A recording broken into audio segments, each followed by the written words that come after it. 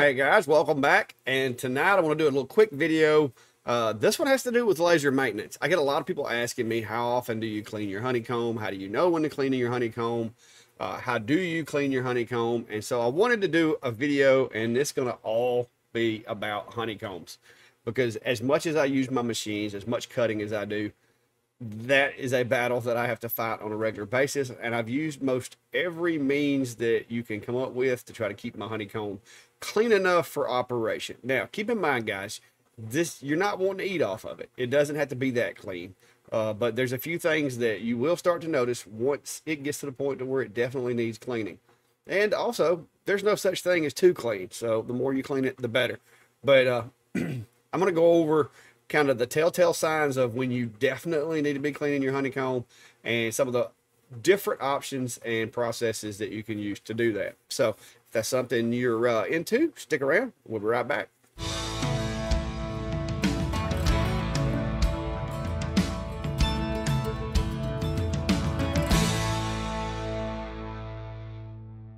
All right, guys. So you, you all know that I do a lot of laser engraving, laser cutting. I make uh, all types of things for different customers, individuals alike, uh, as well as businesses.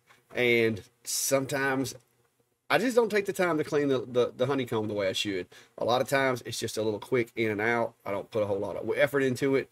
But there comes those times when it's like you can't put it off anymore. It needs a good, thorough cleaning. Now, one of the well, I guess there's two main indicators that you're going to notice.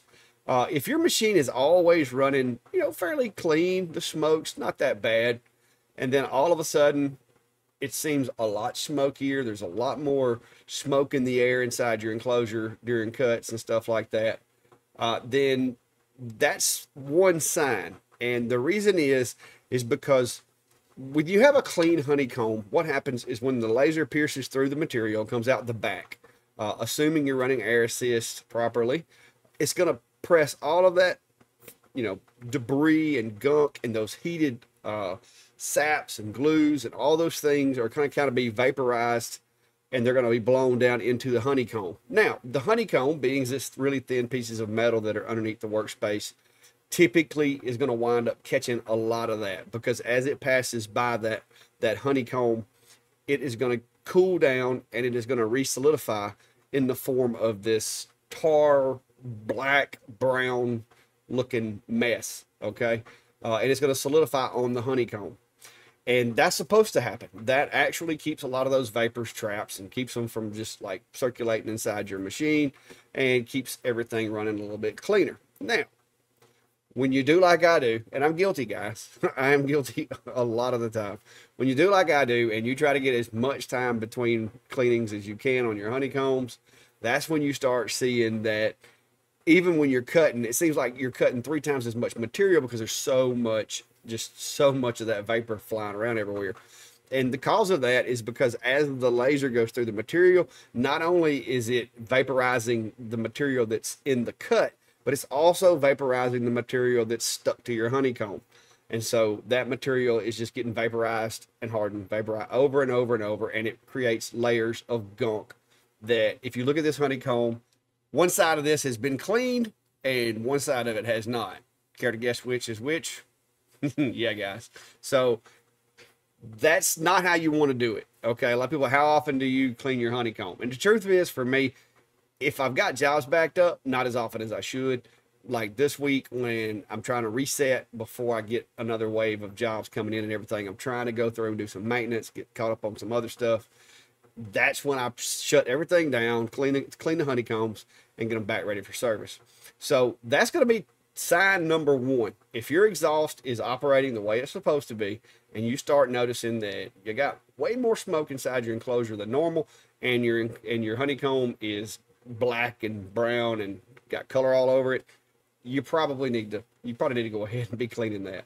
Uh, and a second sign that you'll you'll pick up on, and this is a job that I did earlier, and this is when I decided that it was that time, you'll start getting a lot on the back side of your material. Not only will you get flashback, but you'll start getting a lot of soot on the back of your cuts, more than usual. Uh, a lot of charring and soot and that type of thing.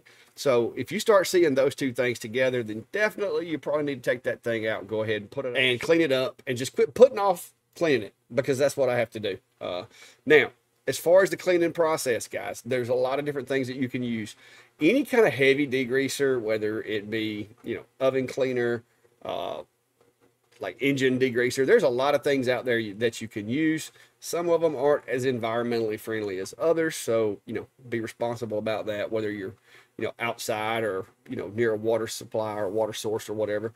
But the best way that I have found to get them as clean as I can is my little pressure washer. Uh, Sometimes I don't use the pressure washer because it's a lot of trouble to go drag the pressure washer out, set it up. Sometimes I just use old fashioned scrub brush, uh, some car wash stuff, and uh, the water hose. That'll get some of it, but it's not going to get a lot of that baked on, really charged stuff. Uh, so you'll see uh, up here in just a second. I'm going to kind of walk you through the process of how I go about it. So I use my DeWalt little electric uh, pressure washer. And keep in mind, guys, this thing is not a big gas powered 12,000 psi pressure washer. If you have one of those pressure washers, use caution because this is a really piece of really thin piece of metal. And if you go too high with the pressure, you could damage it. Now, I've used mine enough on honeycombs that so far the metal, the steel honeycombs, I haven't damaged any of those. I haven't tried it with any of the aluminum ones uh, because aluminum is a lot softer.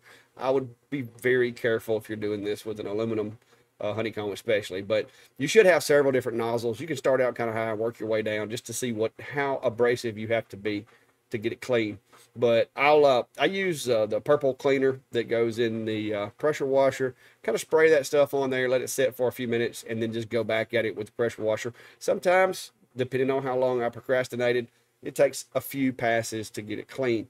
Now, the one thing that I will tell you is when looking at that honeycomb, you can't really pressure wash it straight on that well. So you're going to have to do, hit it from different angles. It's almost like spray painting where you want to come in from different angles because that way the jet of the water will hit the side walls of the honeycomb and get that deposited uh, crud out from in there. And so that's, it's going to be, you know, you're going to basically do a crosshatch and then do a 45 crosshatch. I mean, you got to go every direction, every angle. Uh, if you can't see the dirt, then the pressure washer is not going to remove it. So the way I do it is kind of like aim down the pressure washer until I see that it's really dirty and go from there and then just change your angle, repeat, repeat, repeat until you get the desired effect. Now, there's going to be some stuff you're still not going to get off. Short of putting this thing in an oven and actually baking it with oven cleaner, I don't know that you'll ever get it back to its original pristine cleanliness. But if you remove the bulk of the material off of it, you won't have the issue of too much smoke in your enclosure with all those gases, and you also won't get near as much uh, smoke damage to the back of your materials.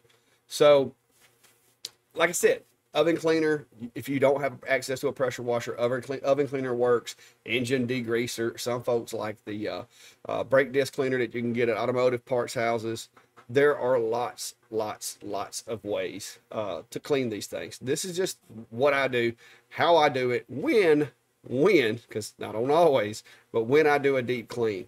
Uh, as far as the piece of metal that is under the honeycomb, that thing is also going to catch a lot of that crud.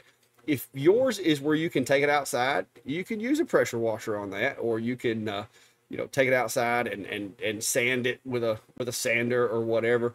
I have found the best way to clean that is with some type of a brass brush and put it on your drill, on your angle grinder or whatever. Just knock that stuff off of there.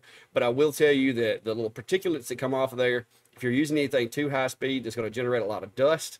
Make sure you do it in a well ventilated area or either wear a respirator because a lot of the stuff that you see coming off of that metal at the bottom is crystalline. It's like little crystals and it's probably not something that you want to be inhaling a whole lot of. So, you know, I I have mine affixed to the lift uh, assembly inside my enclosure, so I'm kind of limited. I leave the enclosure running so that the exhaust is pulling air out, and I just use my little uh, DeWalt cordless drill with that copper brush on there, a brass brush on there, and knock that stuff loose. Uh, but at the end of the day, once you get everything clean, this is what I like to see. And you don't get to see this very often here at the shack.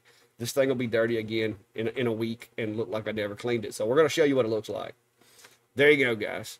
Now, you can see I didn't get it all because I would be there for a week trying to get everything clean. But I did get the bulk of it. I got a nice deep clean. I went in there with the vacuum, dusted and vacuumed all the dust out of there. Uh, so we're ready for business. I've got about six or seven stove covers I've got to do. Also got some cutting boards and I have went ahead and cleaned the other enclosure as well. Uh, didn't clean the bottom part of this one as much because it hadn't been too long since I cleaned it. Once I when I swapped out the uh, 70 watt Atomstack, I actually uh, cleaned the bottom plate on this one. Now I do have on both machines about a half inch gap between the honeycomb and that plate on the bottom, and uh, that's for airflow and to keep that uh, the gases from being trapped right up against the back of the material. So you can see a you can see a difference. This one have not cleaned the underplate. I just cleaned the honeycomb.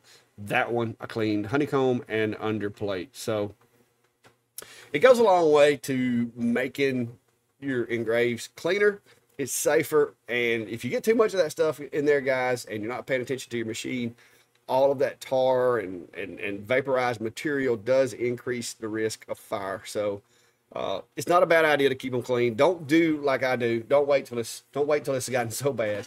Do it uh, when it needs it. And just had a cat scare me. Uh, do it when it needs it, not when you can get around to it. That's that's the best way. It's not necessarily how I go about it all the time. But for all of you that were asking and, and, and, inquiring about it, I hope this helps.